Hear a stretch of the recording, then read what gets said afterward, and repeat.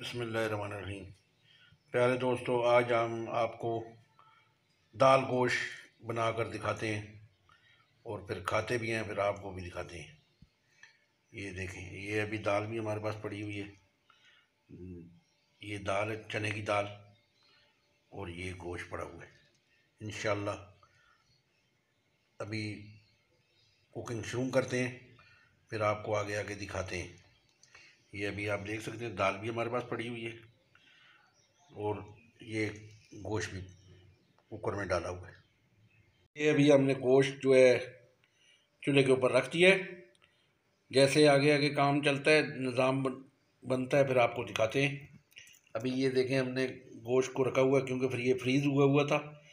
अभी इसको ढीला कर रहे हैं थोड़ा गर्म पानी से, नीम गर्म पानी हो जाएगा तो ये अलग अलग हो जाएगा, फिर हम आपको दिखाते हैं। अभी चने की दाल को थोड़ा भिगे पानी में भिगो लें, फिर आगे उसको भी आपको दिखाते हैं। ये अभी हमने चने की दाल को भिगो दिया है। अभी ये प्याज भी थोड़ा सा काट दिए ये भी इंशाल्लाह डालते हैं, फिर आगे देखें अभी आपने हमारी वीडियो के साथ जुड़े रहना है। जैसे जैसे आगे तैयार होती है तो फिर हम आपको दिखाते हैं। ये कौरमा, दाल कौरमा बन रहा है, इंशाल्लाह। ये अभी हमने इसमें प्याज डाल दिया जैसे जैसे चीज़ें डालेंगे, आपको दिखाते जाएँगे। ये देखते जाए ये देखें वीवर्स अभी हम इसमें एक थूम की गठी ली है और ये थूम डाल रहे हैं। ये अभी आप देखें, अभी हमने थूम डाल दिया इसमें। इसके बाद अब कुकर का ढकना बंद करेंगे। ढक्कन बंद करने के बाद हल्की आँच पे इसको 20-25 मिनट छोड़ेंगे। उसके बाद इन हमारा ये तरकारी तैयार हो जाएगी, सालन तैयार हो जाएगा, कौरमा इन आगे फिर आपको दिखाते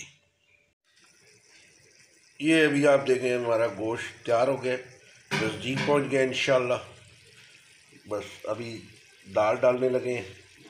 दाल को थोड़ा सा भूनेंगे। भूनने के बाद फिर दोबारा हम आपको दिखाते हैं। ये दाल, अभी ये दाल, चने वाली दाल डालें, डालेंगे। ये अभी दाल डाल रहे हैं, ये देख रहे हैं आप। अभी दाल को थोड़ा सा भून के उसके बाद इसमें पानी डालेंगे, ताकि ये सख्त ना हो जाए। ये पकाने का तरीका, आसान तरीका है आप देख लें। बस आपने ऐसे ही बनानी है।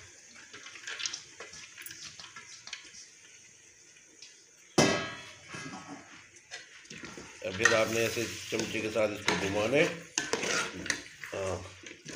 इसको थोड़ा सा चक्कर देंगे तो फिर उसके बाद अभी इसमें पानी डाल दें। जैसे ही हम पानी डाल दें, फिर आपको दिखा दें। अभी हमने इसमें पानी डाल दिए। ये देख सकते हैं, अभी हमने इसमें पानी डाला है। उसके बाद ये पानी को थोड़ा खुश्क भी करना है। ये नहीं है, ये पानी पूरा छोड़ना फिर इन शाला जिस वक्त कौरमा तैयार हो जाएगा, फिर आपको दिखाएँगे। फिर आपको खा कर भी दिखाएँगे इन ये अभी हमारा मज़ेदार कौरमा तैयार हो गया। अभी डिश आउट करते हैं, फिर आपको दिखाते हैं। ये अभी हमारा कौरमा तैयार हो गया बेहतरीन। और अभी आपको खा कर दिखाते हैं कितना मज़ेदार है और आप भी बनाएँ और खाएँ आसान तरीके से।